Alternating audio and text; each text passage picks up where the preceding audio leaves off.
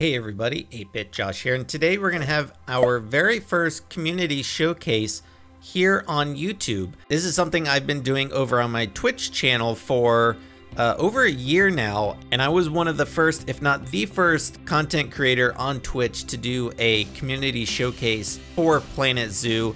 And I figured, you know what, I know there's a lot of people that can't always make the live stream, so let's bring this over to YouTube, and that's what we have for you here. So we're going to take a look at some blueprints and we're going to take a look at a starter zoo as well. If you see anything you like, I'll have links to all of these in the description below, as well as a link to my Twitch channel if you want to come check this out live. We do our community showcase every Saturday at 10 a.m. Eastern, and uh, we would love to have you. But yeah, let's go ahead and jump right in. All right, and first up, we have the Nautilus Education Center by Syrrael and you're probably pretty familiar with their work. They do, uh, they have the amazing uh, Atlantis Zoo on the Steam Workshop, but this uh, this blueprint is actually part of a, a series between a couple different content creators called uh, Loma Park. So when you visit Syrrael's workshop, make sure to uh, go check out the links to those content creators so you can check out the zoo itself. It's called Loma Park, but this one man, is all of their builds, it is just absolutely amazing. And I mean, if you just look at it from like the top down, like, I uh, just love the way when I when I see people get like these really great curves like that on buildings, it's like you, you know that there's uh, some serious talent there in the building because it's not easy to do that. But if we walk in, we've got like tons of details just right off the bat and I love the uh, I love the text that's like built into the path leading uh, around the building. We have some exhibits as well as like custom uh, signs and billboards and things of that nature. I, I love also like so we have like the little uh, education speaker there, and I like that included like the buttons to like press it to turn it on and all that stuff. I feel like this is uh you would you could see this in real life. I feel like it just looks very realistic in my opinion. Also, the color scheme is really really well done. I love the uh, this kind of like maroonish color, I guess, with like this light wood color. But yeah, just look at that. Like so many details. It's so well done. And then, and then of course the path comes up this way. And so we have the uh, Southern Cassowary here very nice little custom sign. And then a nice little uh, viewing area with the uh, Animal Talks, which is a fairly new feature. Then you have the, the great habitat down there. Tons of great detailing. Lots of foliage, which I love. And of course, a waterfall. Gotta love the waterfalls. And then just looking up the building, you get that perfect like spiral. It's just very, very well done. And of course, it looks really good at nighttime too. Lighting is very much on point. And the building looks so good from the outside at nighttime. Like, uh, the way the way they got the uh, lighting on this building, it just it looks like it. The whole thing glows, right? Very, very, very well done. So yeah, that is the Nautilus Education Center by Syrrael. Up next, we have the modular playground set by Just Goron. And I know uh, playgrounds are pretty common in zoos, and unfortunately, we don't actually have uh, playground sets or anything in uh, Planet Zoo. So Just Goron made this awesome modular set with all the pieces you need to create your own custom playground and all the pieces are even separated. You have like slides, connections, platforms. Uh, tells you even how to assemble everything. Use 30 degree angle snap to rotate. And the cool thing is because all of these are individual groups, so if you don't want this uh, kind of maroonish color, you can just color it like a green and it colors every single piece. So uh, very, very cool. Highly recommended if you uh, wanted to have a you know kind of little playground area in your zoo but maybe didn't want to uh, actually create all the uh, pieces yourself uh, but now you don't even have to worry about it just get this uh, download this from the workshop and you're good to go. And here we have the Giant Otter Habitat by Lisa. And uh, I really like this one because I, I love when habitats are not just kind of like a square shape. You, you have like, I mean, it's kind of round there, round there. You got a little section there.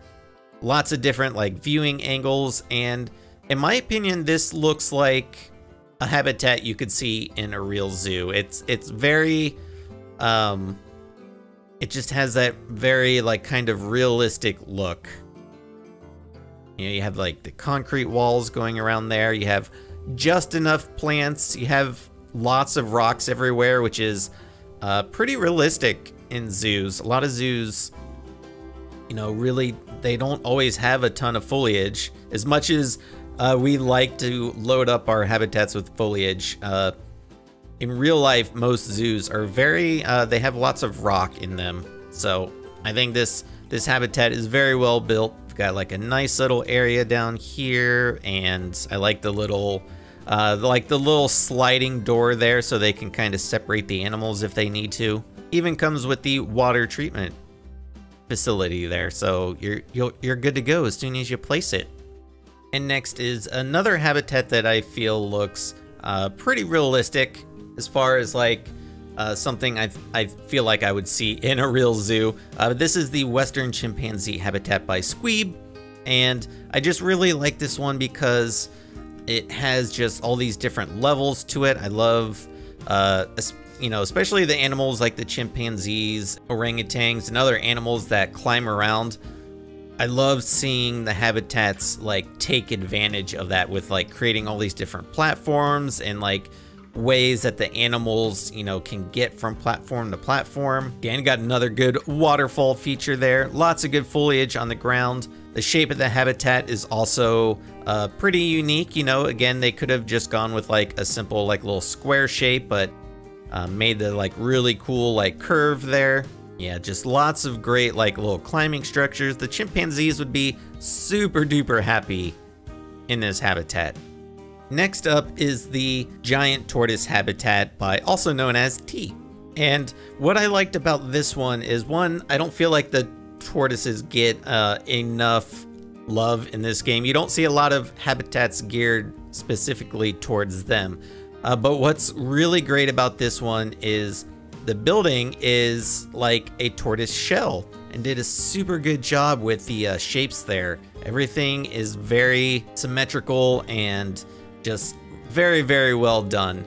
And I'll show you here in a second why I really, really like this habitat. But first, we're going to jump in to the inside.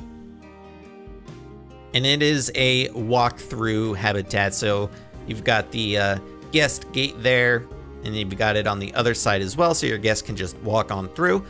But yeah, again, it's another, uh, you know, pretty, like, basic habitat, but you know, it does exactly what it needs to do. It provides everything that the tortoises need. I also like it's not just flat in here either. You've got like a very subtle, like different terrain elevations there. So very, very well done. But like I said, what really makes this habitat stand out and why I wanted to show it off is if we look at it at nighttime, like how cool is that? with the uh, glass roof there and then the green lights. It's like it it looks like it's a turtle shell. How cool, right? It's very it's very green and glowy on the inside, but the way that they were able to achieve this effect with the lights and the glass, it that it really just it stood out to me and I was like, man, I have to show this off. It's so cool, you guys.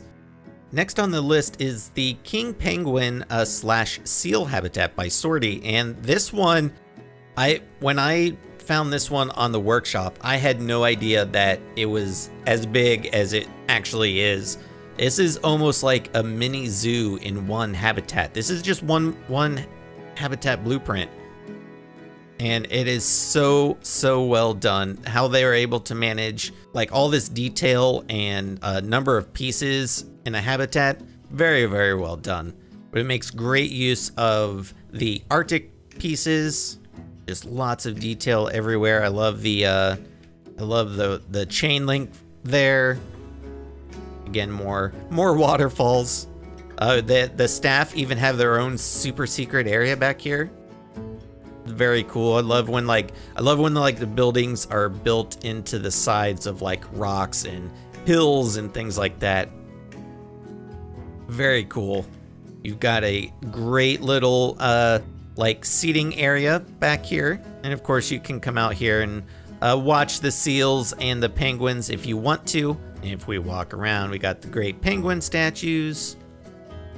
I think the uh, the path is actually supposed to be up here because you can see the uh, see the benches there. And you've got a great little area over here with a really massive waterfall. And I love that it the water kind of comes from like different angles and parts out of the rocks and everything. Very well done. If we come around down here. So again, the, the path is supposed to be up here. Now, when I place these down, I generally do not fuss with like the pathing. You know, I just generally don't uh, go around and try to place the path around unless it's just like a really simple kind of like little square. So like down here, there should be a path that goes down here for the tunnel. So you get like a little underwater tunnel area. And you pop around over here. The other thing I didn't do is so when you place this down, so there's supposed to be water here. And in order to do that, because there is a under underground uh, tunnel here for the guests, you need to place the glass barrier along the inside right here on this side as well as on the side over here. And then that will let you place the water in the giant pool here. Uh, again, that's something if it requires placing the habitat barriers, I generally don't do that when placing these down. But I still think you obviously get a very, very good idea of how this should look. You got a great above, uh, above ground viewing area over here. I also really like they made like a like a little seating area over here. I love it. Animal talks every day at 3 p.m. I, I did something like this in Aurora Zoo, and it's like, man, I would love if you could make seating areas like this actually usable.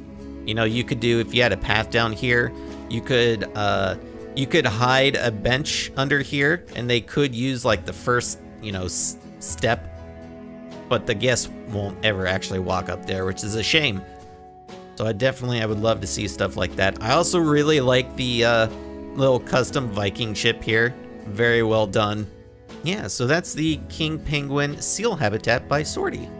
Up next is the Koala Walkthrough Habitat and Koala House by Nathanek. And this is a great habitat because I love the uh, I love the Australia pack and I always kind of regret that I didn't really get to use it too much in my own builds. So I'm always really happy when I uh, find Australian themed blueprints on the workshop. But I, I especially love these like little these little handmade baskets. I don't know if the koalas can actually like get in here.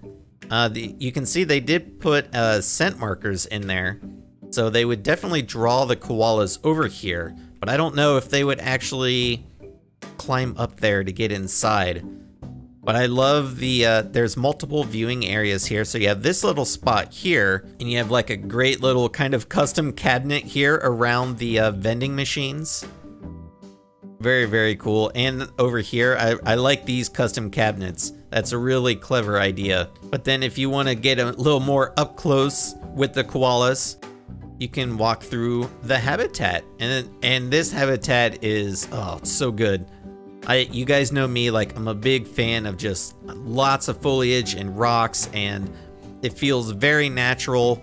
They even have the animal talks over here. And then I love the uh, kind of custom like little uh, climbing structure they made. I love that it's uh, kind of round. You, you don't see that too often, I feel like. So very well done there. And again, it just feels like, it feels like a real kind of like little forest. We have more of the uh, hanging baskets there. Uh, nice little water feature and kind of a more uh, sort of shallow waterfall there. I love it. But yeah, I, I really like that these are like round.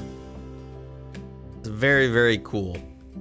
They did such a great job like just placing with all the all the different plants and all the rocks, how they are kind of just slightly sunken down under the ground like that. Very well done. Now this build is like a really fun build because I, you don't see, you know, too many, like, too crazy of designs in Planet Zoo. Or at least my first thought isn't to do these more, like, kind of crazy builds. I, I would think you would see something like this in Planet Coaster, you know? I feel like that would be fitting for, like, a theme park, but not so much as a zoo. So when I see stuff like this, I'm like, man, that's so cool.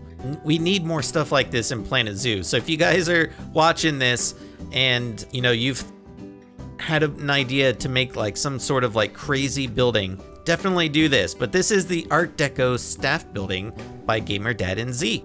And yeah, it's just a it's a little staff building. But yeah, it's Art Deco. It's got tons of like just really bright, bold colors. I love the use of like the angles and the uh, the round shapes there and the glass. I love like the little uh, potted plants area over here. And so this is a staff building, so they have like uh, the facilities here. So this is like a power, but they built it in a way so that only the panel is showing through. So it kind of looks like the panel is just attached to the wall here. And like the, the use of the security cameras there as well. Each uh, each staff building has like a unique sort of design to it. And we still have like details on the building itself there. So, you know, no detail left unturned and it's just really well done. And one of my favorite things, which I never think about in my own builds, is actually just stacking the uh, staff buildings on top of each other. So you get this like, you know, you may do like a two-story building, but the second story is probably not usable. So this makes it actually usable, and uh, I just adds a little bit more uh, realism, I think, to it. Even though this is a very funky design with the Art Deco and everything. Uh, it just, yeah, it just adds that little extra touch of realism to have a functioning second story. So I think that's very cool. Very well thought out, very well executed, and just very, very well designed. I love the, also, like the little staff area over here. You have like a nice little patio. And then some more details, more like little roof details up here. Just everything is just so well done. I like it. I want more stuff like this in Planet Zoo. So if you're watching this, make stuff like this because I want to see it. This build also looks really good at nighttime. Very, very good use of the lights, like the little light strips there. Very well done. The colors, just everything about the lighting here is just, it's on point. So if you're a fan of the Toy Story movies, you may recognize this one, but this is Pizza Planet by Alice. Uh, again, something that maybe wouldn't see in Planet Zoo. Again, this might be more fitting for like Planet Coaster. So again, when I see stuff like this in Planet Zoo, I'm always really excited because it's always just so much fun, but they did a great job did a great job making the uh, Pizza Planet building here. I love the, uh, it's like the planet with the ring and like the rocket ship on the outside. You know, I mean, it's cute, it's whimsical. Definitely would be fun in like a little kids area of the zoo. I love the uh, guards on the outside, the robot guards. And of course, you've got like the planets up here and the solar system and the stars and it's just very, very well done. This one also looks really good at nighttime. Great job with the uh, lights for the sign there. And then the inside as well with the uh, stars and using these little globe lights are perfect for stars. A little uh, claw claw machine there. I like that. I like the little claw machine. I like the little aliens. It's just, it's very well done. Very, very well done. And last on our list today uh, you probably recognize this if you've played the game Jurassic World Evolution, but this is the Innovation Center Jurassic World by Maverik, and yeah, this is this is amazing. It looks exactly like the building in Jurassic World Evolution, or also the movie Jurassic World, which is where it came from, but uh, just super well done on a uh, building that none of these are pre-existing shapes in the game. These Everything about this is custom. Like these little things, these are all made by individual wood panels and beams. Great use of the glass panels there. And then again, when you when I see custom buildings that are round and like perfectly symmetrical like this, it's just it blows my mind because it's not always the easiest thing to do. So when I see it, it's just like, man, I I just have to I have to point it out because it's very well done. But you have the great like plaza out here looking excellent with like the little garden and the uh, water fountains. I like the uh, the like kind of little fake uh, bird exhibits in here. I like the like the little parrots there, but they're very well done with the scenery in here. Looks very very good. If we ever get uh, actual birds in Planet Zoo, this could definitely be. Uh, I could see this being turned into like a little bird aviary. But yeah, as we go in, so we got the big giant doors looking excellent. And then the inside was intentionally left empty so that you could design it how you want. You could, you know, feel free to add whatever you'd want to add in here. There's plenty of room to add a habitat or two, depending on the animals, maybe three or four. Uh, it could also just be used as like a gigantic guest center. You know, you could load it up. There's already some uh, guest facilities in here, but you could definitely load it up with some more if you want. But there's just like so much detail around on the outside. I love the uh, I love the uh, skeleton there. At first glance, if I were to look at this, I would say that this was just an in-game asset. Like this, like they had a crossover between Planet Zoo and Jurassic World Evolution and made this for the game. Like that's how good it looks. Just super well done. And uh, yeah, definitely recommend getting this from the workshop and checking it out for yourself. And whenever I do the uh, community showcase on stream, I always like to show at least one uh, like full zoo or starter map, what have you. And this one, being a huge Simpsons fan, I just had to include it. But this is the uh, Simpsons map and iconic buildings by Survivor. And it's very much a starter map, but it has all the iconic buildings from the Simpsons TV show. We have Moe's Bar here, complete with the uh, Duff truck, and it has a has a very nicely done interior. You have the bar and the, like the pool table and the seating area over there. We have the Quickie Mart, which is it looks probably as close to the uh, cartoon version that you could get, but completely detailed interior. You've got like all the shelves of like, you've got like the little fruit, you've got some coolers there with your drinks and whatnot. Very, very well done. I love it. Here we've got the, uh, we've got the Krusty Burger, very well made sign. I love the uh, custom Krusty uh, face there. We've got the drive through and it's got a nice little seating area. Actually kind of reminds me of uh, Simpsons World, if you've ever been to Universal Studios, they have a Krusty Burger and you can go inside. We've got the Lard Lad donuts, we got the cop cars in front of it, because of course, a Simpsons uh, town wouldn't be complete without the Simpsons house. We've got the car, the, they nailed the colors. You know what I mean? Like it, they absolutely nailed the colors. And they even have Bart's tree house, so yeah, absolutely nailed the uh, Simpsons home there. I love it. They even have Flanders House.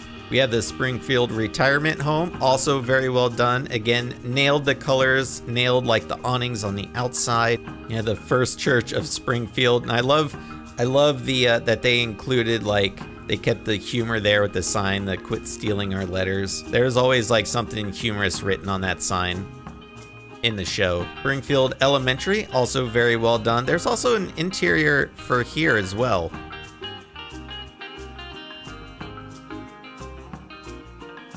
You've got the uh, you've got the uh, classroom here and the chalkboard. Bart must have did something wrong that he had to uh, write that up there. And I believe the church, I didn't show it, but I believe the church has an interior as well. Got a nice church area. We got Bart Simpson's soul. I don't really get the sign, but it's just funny. And of course, you couldn't have Springfield without the nuclear power plant. And uh, very well done. It definitely looks like a power plant. Surprisingly, a lot of detail. I even like the uh, the pipe that's dumping the sewage into the uh, river there, because that's definitely something they would do at the power plant. Yeah, very well done. So if you, you know, it's whimsical. Again, it's more of a, it's a very themed uh, idea. So if you wanted to do like a much more kind of just really highly themed zoo, I think this would be perfect, especially if you're a gigantic Simpsons fan like I am. But there you go, you guys. Uh, there was uh, this was our first ever uh, community showcase here on YouTube. Like I said, I do these uh, over. I do these live over on my Twitch channel every Saturday at 10 a.m. Eastern Time. Uh, if you are interested in watching that, make sure to head over to my Twitch channel, give me a follow. If you have any blueprints that you would like to be shown, make sure to join our Discord server and submit your blueprints there. And otherwise, if you guys like this, I'll continue to do these videos for you here on YouTube. So as always, be sure to leave your comments, suggestions, and feedback down below. I am 8-Bit Josh, and thanks for watching. See ya.